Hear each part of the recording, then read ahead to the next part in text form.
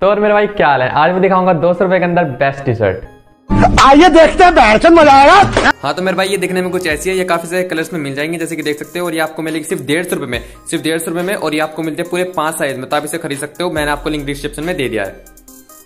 जब उम्मीद आपको वीडियो पसंद आई होगी अगर आपको पसंद आई है तो लाइक करो और अपने दोस्तों के साथ शेयर करो ताकि आपके दोस्त भी ना खरीद पाए।